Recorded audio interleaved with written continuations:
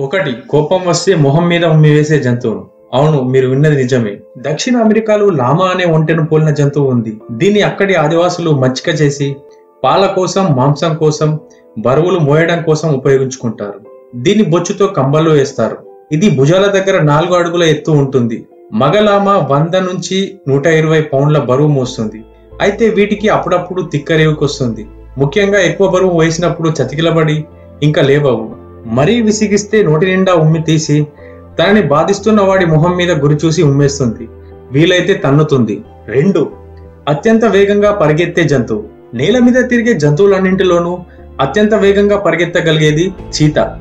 ఇది చిరుతపుల్ని పోలి ఉంటుంది. దీని కాళ్ళు పొడుగు తల చిన్నది పొట్టి బొచ్చును దీని కళ్ళ నుంచి నోటి దాకా నల్లని చారికలుంటాయి. పిల్లి కుటుంబంలో కాళ్ళు లోపలికి ముడుచుకునే శక్తి లేనిది ఇది ఒక్కటే. ఇవి గంటకి డెబ్బై మైళ్ళ వేగంతో మైలు దూరం దాకా పరిగెత్తగలవు. ఆఫ్రికా ఆసియాలలో గడ్డి మైదానాలలో నివసిస్తాయి. వంద పౌండ్ల బరువున్న జాతి లేళ్ళను తరిమి తరిమి పట్టి చంపుతుంది. ఇది మనిషికి సులభంగా మచ్చిక అవుతుంది పెంపుడు చీత కళ్ళకి గంతలు కట్టి లేళ్ళు తిరిగే మైదానంలోకి తీసుకెళ్ళి గంతలు విప్పి విడిస్తే లేళ్ళను వేటాడి తెస్తుంది. వేటాడ చిరుతపులి అని పిలువబడే ఈ జాతి జంతువుల సంతతి చాలా తక్కువగా ఉంటుంది. మూడు. గుడ్లు పొదగని పక్షి. కోకిల తేనెగైడ్ వంటి కొన్ని పక్షులు స్వయంగా గూడు కట్టక ఇతర జాతి పక్షులు కట్టిన గూళ్ళలో తమ గుడ్లు పెట్టి వాటిని పొదిగి పిల్లలను పెంచే బాధ్యత ఇతరులకు అంటగడతాయని మనకు తెలుసు. స్వయంగా గూడు కట్టి అందులో గుడ్లు పెట్టి కూడా వాటిని పొదగకుండా ఎండకు వదిలేసి పక్షులు కొన్ని ఉన్నాయి. వాటిలో ఆఫ్రికాలోని ముసలి పక్షి ఒకటి శాండ్ పైపర్ అనే పక్షులు కూడా ఇటువంటివే.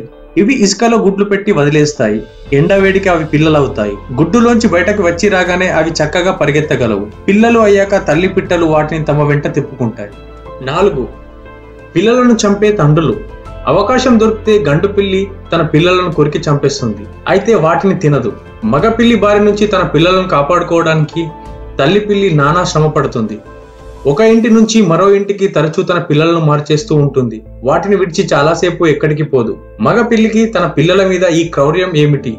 ఈ పసికునలు ఉన్నంత కాలము ఆడపిల్లి మగపిల్లితో జత కలవడానికి ఇష్టపడదు. తన పెంటిని తన నుంచి దూరం చేస్తున్నవి ఆ కూనలనే ఉద్దేశంతో గండు పిల్లి వాటిని అతమార్చడానికి ప్రయత్నిస్తుంది. తల్లి పిల్లి ఎంత జాగ్రత్తతో ఉన్నప్పటికీ కొన్ని కూనలు మగపిల్లి వాత పడిపోతూనే ఉంటాయి. సరిగ్గా ఇటువంటి పరిస్థితి కొండముచ్చులలో కూడా కనిపిస్తుంది. పిల్లల్ని కనే సమయం దగ్గర పడగానే ఆ కొండముచ్చులు గుంపును విడిచి మగవాడికి దూరంగా వెళ్ళిపోతాయి పుట్టిన పిల్లలు తగినంత పెద్దవి అయ్యాక వాటిని వెంటబెట్టుకొని గుంపును కలుసుకుంటాయి.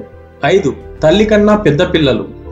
అల్బట్రాస్ షియర్ వాటర్స్ వంటి నీటి పక్షుల్లో పిల్లలు తల్లి పిట్ట కన్నా సుమారు ఇరవై ఐదు శాతం బరువుగాను పెద్ద సైజులోనూ కనిపిస్తాయి. ఇందులో ఒక సౌలభ్యం ఉంది. ఈ పక్షులు తమ పిల్లలకు పొట్ట పగిలేటట్టు తిండి మెక్కబెట్టి సముద్రం మీదికి వెళ్ళిపోతాయి. ఆ పిల్లలు ఇంకా తమ తంటాలు తామే పడవలసి ఉంటాయి. వాటికి ఇది చాలా గడ్డు కాలం. తిండి స్వయంగా సంపాదించుకునే పద్ధతులు వాటికి పట్టుపడేదాకా వాటి శరీరంలో జమ అయిన కొవ్వు క్రమంగా ఖర్చవుతూ వాటిని రక్షిస్తుంది.